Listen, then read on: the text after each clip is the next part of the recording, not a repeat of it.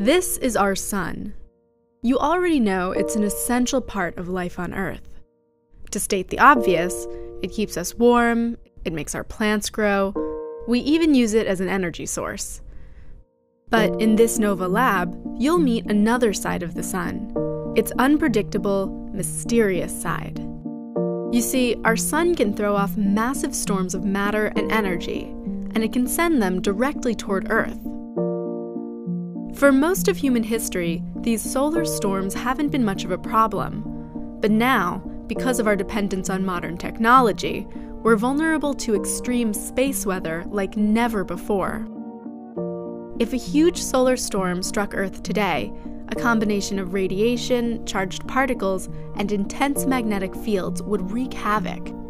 It could harm astronauts, fry satellites, and cause surges that severely damage our power grid, knocking out power and communication for weeks, months, even years.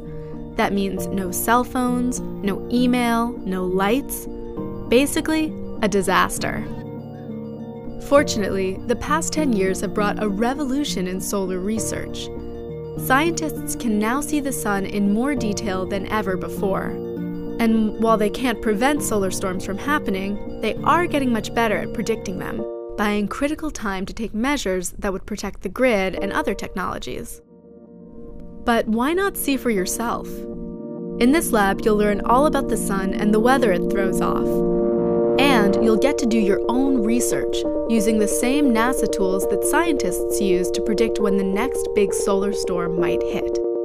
So come into the lab and take a look at the dark side of the sun. You never know what you'll find.